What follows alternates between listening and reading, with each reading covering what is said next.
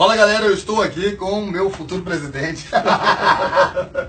Jair Tu é Bolsonaro. meu amigo, hein? Eu sou, eu Tu sou. viu o tamanho da mandioca já ou não? Rapaz, que pepino grande. Deixa eu até arrumar aqui pra ficar bonito, que você tá me elegante. Isso que eu queria falar. É porque esse eleitor do Bolsonaro é meu. Ele não percebeu ainda, Pois mas é, eles mas- estão procurando seriedade, autoridade, Sim, é, sabe? E sou eu, eu que sou queria isso. saber como é. Resultados, não vale a pena, galera.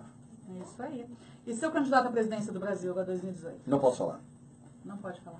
Não posso falar. Eu ando mudando de opinião.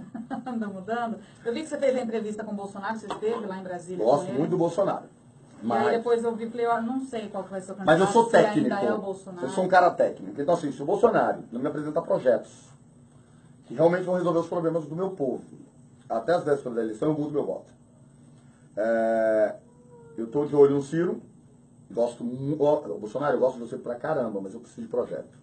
E quando eu falo projeto, não é projeto vazio, não. Eu preciso de projeto concreto. Eu e o povo brasileiro estamos cansados de político bom de papo. Nós precisamos de projetos viáveis, plausíveis,